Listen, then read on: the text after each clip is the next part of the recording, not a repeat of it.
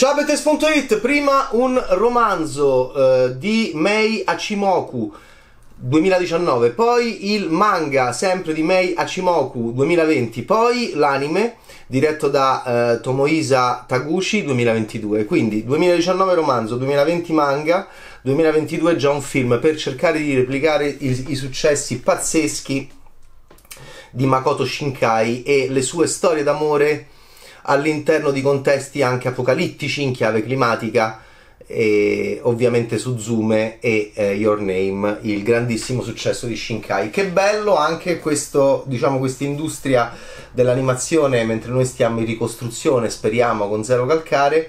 Eh, che bella questa industria dell'animazione che insegue i successi o comunque che cerca di creare un filone. Ancora i giovani in amore, a differenza delle storie di Zero Calcare, che, di cui manca completamente, a cui manca completamente la passione, e, e, e quindi invece qui che bello.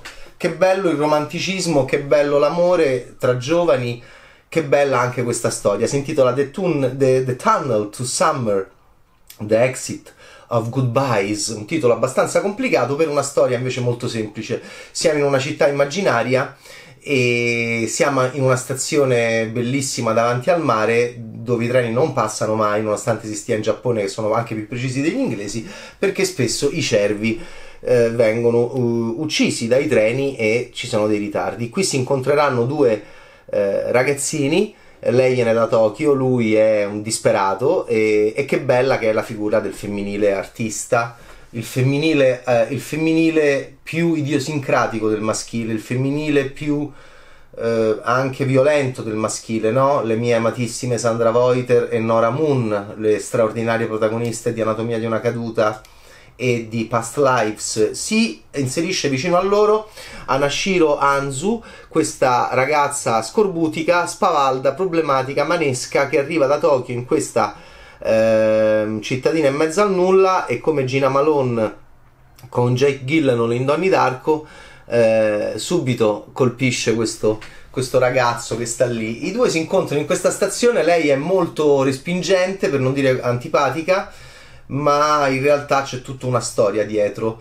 Eh, lui è gentilissimo, va in giro con un ombrello di plastica e, ed è, mi piace molto sembra proprio la mitologia comparata di Campbell che faceva impazzire Lucas quando andava alle sue lezioni. Eh, mi piace moltissimo che in diversi paesi del mondo, tranne l'Italia, ci sia questa stessa linea di enfasi del femminile in una chiave di pericolosità idiosincratica e di eccentricità violenta all'interno della drammaturgia che di solito ha occupato sempre il maschio è come ovviamente il personaggio di Robert De Niro di New York New York l'artista fumantino e imprevedibile, mercuriale, è donna oggi.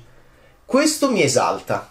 E tutti lo fanno tranne l'Italia, prima o poi ci arriveremo anche noi. No, l'abbiamo cominciato a fare anche noi con chi? Con Valeria Golino, eh, con L'arte della gioia, che è una serie molto importante perché è l'unico